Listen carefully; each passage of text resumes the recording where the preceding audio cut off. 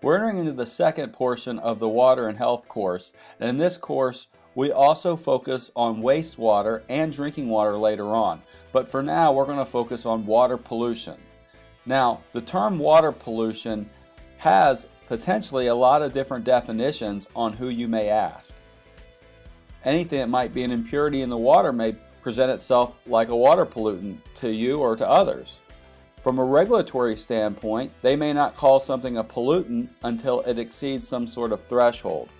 Now, you know as environmental health scientists that if you look for something close enough in our environment with the improved analytical techniques, you're more likely to actually find it. So, is a little bit of arsenic in the water really a pollutant? Or is it really bad for a person? Now, if you look close enough into our water systems with the best techniques, you can find a whole lot of things that we might call pollutants. So just be aware of the different definitions that might be out there for whether or not society calls something a pollutant or not. Um, the regulatory framework versus what we would use in popular culture and in writing uh, can be sometimes variable. It is important for us, though, to be able to recognize the different kinds of pollutant sources, whether they be point sources or non-point sources. Many textbooks that have been published on the subject of the environment or even water quality, many cases refer to non-point sources as dispersed sources, meaning that there's no single point from where that particular pollutant is coming from. So you can look at a variety of these scenarios below where in all these cases we could theoretically imagine how they can act as non-point sources, but they may also have point sources involved with them too. So a construction site where the land has been cleared and they may have silt fencing around it, but if they don't and rainwater falls onto this surface and say you have a hydraulic leak from the equipment like the tractor or the soil itself, when the water hits it and runs over the soil, it may carry with it impurities, including sediment that may run off the construction site into nearby stormwater outfalls or right into nearby streams. In that case, we would look at that as being non-point source or dispersed source. A wastewater disposal system where maybe it's from a municipal plant where it's an actual pipe going into a creek, that pipe is regulated as a point source. But in the case of a failing septic system, when water falls onto the surface where the failing septic system may have sewage waste on the surface, there isn't actually a pipe or a smoking gun. The pipe might be underground, but it might be leaking out of here. Or you have a community that's got a lot of failing septic systems, they may collectively even act as non-point sources.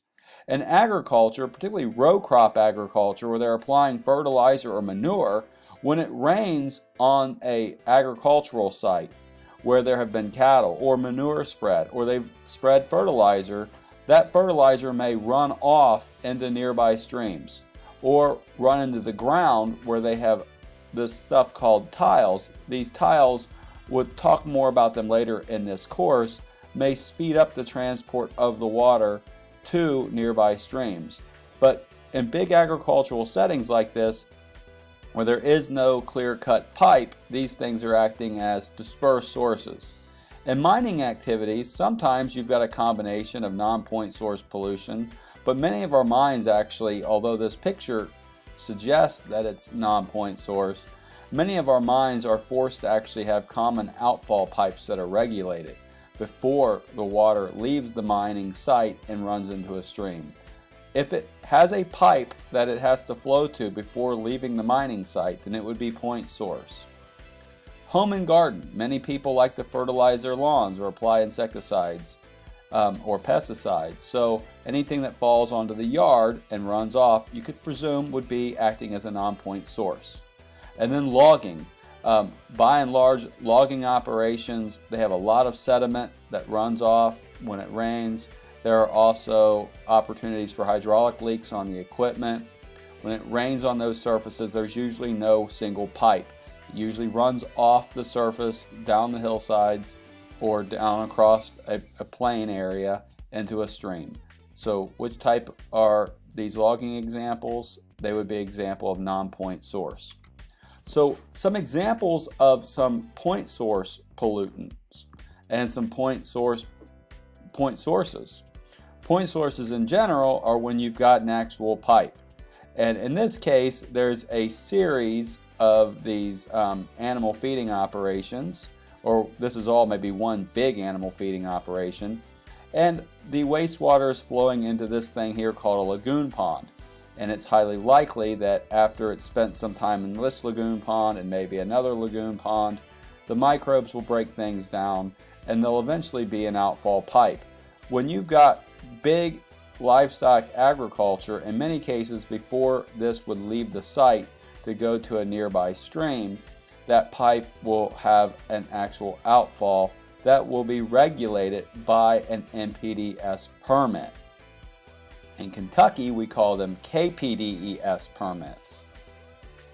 And this example here shows you kind of an area where you could imagine a lot of animals inside of it. So you'll often hear these things called CAFOs or concentrated animal feeding operations. It's where the animals can eat a lot of food really quick and then be prepared to be sold to be animals that can then go to pasture or um, go into a, uh, you know, for sale for beef. Now, these pipe outfalls are regulated, and they are regulated by the National Pollutant Discharge Elimination System permits that are established by the Clean Water Act. In 1972, this act was passed, um, which was an improvement of the Federal Water Pollution Control Act.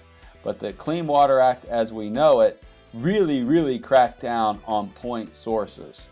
So the previous slide, the non-point sources are the final frontier for making major improvements in our nation's water quality. So from a regulatory standpoint, which do you think would be the most challenging to deal with? Point sources or non-point sources?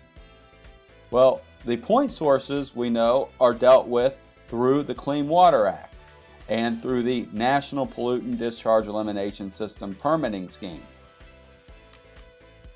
Non-point sources are not as easily regulated, so that makes them very problematic for us trying to figure out how to reduce their impact in our environment. Now, the different things that may be released from actual pipes or through surface runoff could include pathogens like fecal indicator bacteria as pathogen indicators, but viruses, different pathogens can run off. There might be certain chemicals that demand oxygen and then they would starve the fish of oxygen or other things that live in the water of oxygen. Some pollutants may be nutrients, and when we think of nutrients, nitrogen, phosphorus, and potassium are the big ones, but nitrogen and phosphorus are by far the most important nutrients for kind of putting the food into the lakes that make the algae really, really grow and cause a lot of water quality problems. But there are inorganic chemicals like metals that can go into the water. Sediment, soil, as you can imagine, it can be a problem. Radioactive substances. Heat, just raising the temperature, can act as a pollutant. And then there are a variety of hydrocarbons and petrochemicals, oil, all these organic compounds can also get into the water. So where do these pollutant sources uh, exist or where do these pollutants come from? So pathogens or pathogen indicators, you know, fecal bacteria could come from wildlife. They could also come from domestic sewage, failing wastewater systems, failing septic systems, agricultural runoff, cattle wading in streams, drinking in streams, wildlife beyond just geese, but also pets um, you know, dogs, so domestic animals as well as wildlife, um, deer. So those are just some sources. Other sources of fecal contamination could include sanitary sewer overflows and combined sewer overflows. So you should know the difference between a CSO and an SSO. So in a combined system, what makes something a combined system overflow? They're both overflows, but if you're asked, how do you differentiate between a CSO and an SSO? It's really important to know the difference. And in a CSO, by design, it was made to carry both stormwater and sanitary sewage. Sanitary sewage, by definition, is actually unsanitary. Sanitary sewage is like what's coming from the toilets. And sometimes it's mixed with other things. But as you can imagine, when sink water or shower water gets mixed with toilet water, it all at that point is toilet water. It is all at that point sanitary sewage. So if a water pipe or a wastewater pipe is only supposed to carry sanitary sewage and then it overflows, that is a sanitary sewer overflow. Now, why would a sanitary sewer overflow? Is it like somebody gets some Snapchat challenge or something and everybody around the city of New York, we're all going to flush our toilets at once? No, that's not going to happen. Hopefully it doesn't happen. I guess it would be a bad thing if it did. But the sanitary sewers overflow because they were designed for sanitary sewage, but due to just neglect, either government neglect, a combination of homeowner neglect, tree roots and things like that have cracked these pipes over years, or years the pipes just are not well maintained. And when it rains really heavy, it gets into those pipes, not by design, but just by the fact that they have not been maintained properly.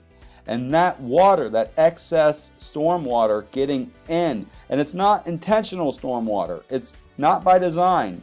It's the water that's broke into the tree root cracks. It's the water that's broke into the, the bad pipe when that water meets with the toilet water that we know of as sanitary sewage, when they come together and it overwhelms the system, there may be a manhole cover somewhere where this stuff can erupt out of it. So this is actually a picture from Lexington, but this isn't a SSO. This is actually a CSO. So what makes something a CSO? So a CSO, I'm going to show you a picture here. It's when it's combined. Okay, so we've talked about SSOs, CSOs, and we're going to come back to them in a second. These are different than something else called straight pipe pollution.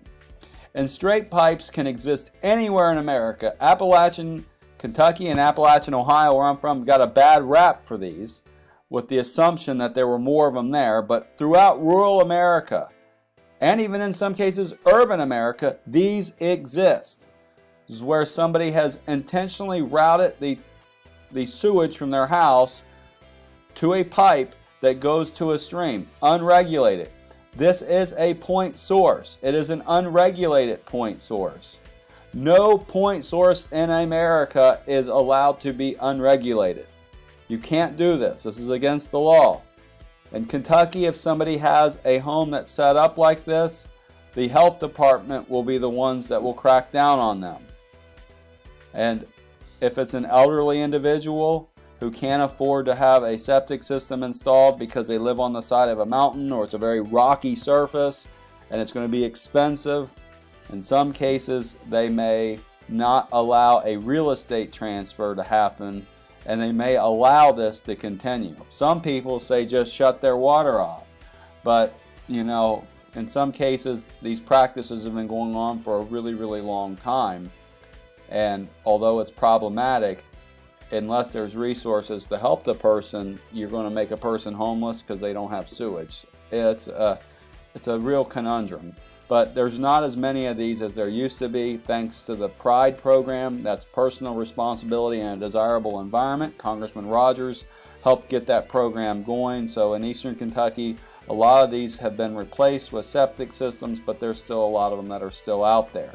This is a point source. It's illegal. It's called a straight pipe. There are more covert methods that exist in the suburbs where people have failing septic systems and instead of fixing them, they call Billy Bob who takes one of these and routes it to the storm water pipe and it's hidden but yet it is a straight pipe going into the storm water system. Those are also big time illegal. So what makes something a CSO versus an SSO?